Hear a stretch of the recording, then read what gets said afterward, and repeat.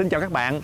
Tác hại của ve và bọ chét thì chắc chắn là nhiều người à, cũng đã biết rồi. Quan trọng nhất à, chính là chúng à, hút máu, gây mất máu, mất chất dinh dưỡng Và thêm nữa là gây ngứa ngáy rất là khó chịu. Và ve và bọ chét cũng là vật trung gian để truyền những bệnh truyền nhiễm rất là nguy hiểm.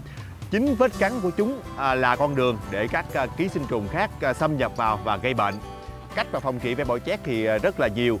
À, trước đây thì các bạn ờ, thường hay mang đến bác sĩ thú y hay là các cái phòng mạch để họ tiêm thuốc để mà mình phòng trị ve và bọ chét. Nhưng mà chính cách này thì làm các bé đau và dẫn đến stress gây ảnh hưởng đến sức khỏe đôi khi là bỏ ăn nữa. Chính vì thế cái xu hướng mà lựa chọn sản phẩm mà không gây đau nhưng mà phòng trị hiệu quả được ký sinh trùng chính là xu hướng mà được các sen rất là quan tâm hiện nay à, sản phẩm mà phòng trị ve và bọ chét à, rất là hiệu quả mà không gây đau đó chính là trong Dean Sport. À, đây là sản phẩm rất là dễ sử dụng khi mà mình à, mua về sử dụng cho các bé tại nhà. À, chỉ cần à, nhỏ giọt ngoài da của chúng thì có thể à, phòng trị được ve và bọ chét.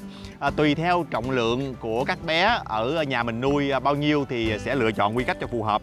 Ví dụ như à, loại à, hộp này thì có 5 ống mỗi ống là 0,67 ml thì à, rất là dễ sử dụng cho các à, bé nhỏ riêng mà chúng ta nuôi chó to hơn các dòng chó lớn như là Alaska hay là Berger thì à, có thể sử dụng loại tiếp 50 lít này À, một điều lưu ý là với sản phẩm trong Sport này thì chúng ta chỉ nên sử dụng cho các bé trên 2 kg và trên 2 tháng tuổi thôi.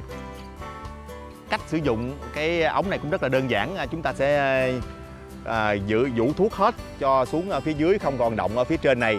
Và tại cái đường chữ V này thì à, chúng ta sẽ à, bẻ cái à, miệng ống theo đường chữ V. Đó.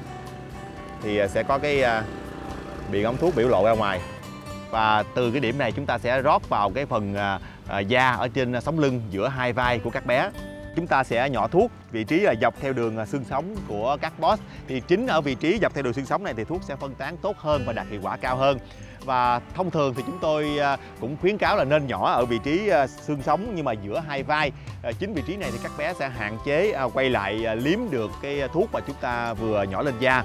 À, với những bé mà lông dài thì chúng ta nên lật ngược lông của chúng lên và à, biểu lộ lớp da ra bên ngoài. Chúng ta hãy nhỏ thuốc thì thuốc sẽ thẩm thấu tốt vào da hơn và khi nhỏ thuốc thì à, tốt nhất là à, chúng ta không tắm cho các bé 2 ngày để à, thuốc được hấp thu tốt qua da.